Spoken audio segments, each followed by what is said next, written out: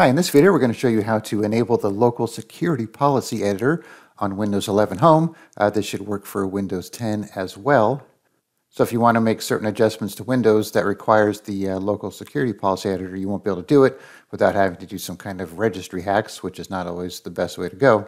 So if we search for local security policy editor, so let me show you what we're running here.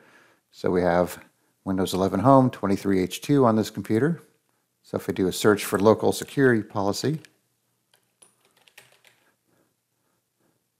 the only thing it finds is my text document there, which I have open here. So in order to enable it, we're going to run a couple commands here from an administrative command prompt. So before doing this, I suggest doing a backup or a system restore in case uh, something goes funky here.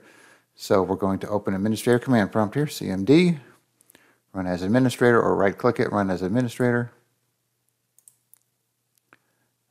Okay, so we're going to paste these in here one at a time. Wait for it to finish.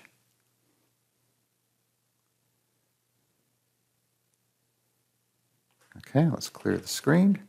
Let's do this one now.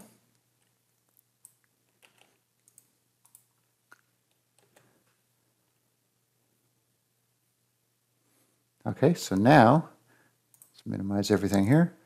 Okay, so now if we do a search, you can see it shows up in our search results.